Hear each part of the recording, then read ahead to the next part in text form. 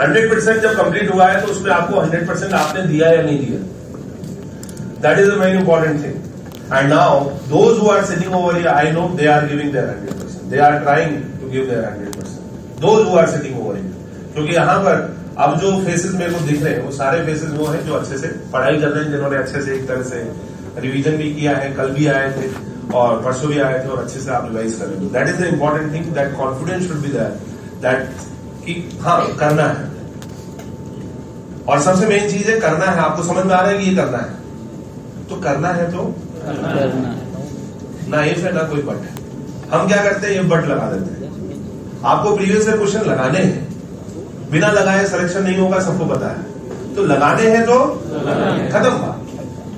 आपको ये पता है कि बैकलॉग जो पिछले साल कुछ जो पुराने स्टूडेंट हैं उनसे पूछ लो आप। उनके बैकलॉग जो रहे थे ऑनलाइन में जो लेक्चर आपने देखे थे, वो रह गए, वो रह ही। गए वो हमने दोबारा मुड़ के कभी देखे नहीं है। तो आज की डेट में भी जब आप क्लास लगा रहे हो तो डेली क्लास लगाओ। यहाँ पर जब हम देखते हैं तो कुछ लोग जैसे ये इधर वाले लोग हैं, ये हैं गर्ल्स में भी ये सारे हैं। तो रेगुलर आते हैं। वो जैसे राम कुमार है रेगुलर आता है। ठीक है, इधर से राहुल रेगुलर आता है, वो रेगुलर आता है।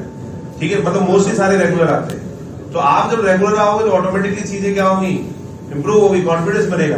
अभी हमने लास्ट में पढ़ा है टफनेस इंडेक्स अभी हमने कॉम्पेक्शन और लाइन का कॉन्सेप्ट पढ़ा है। तो वो उसी को क्लियर होगा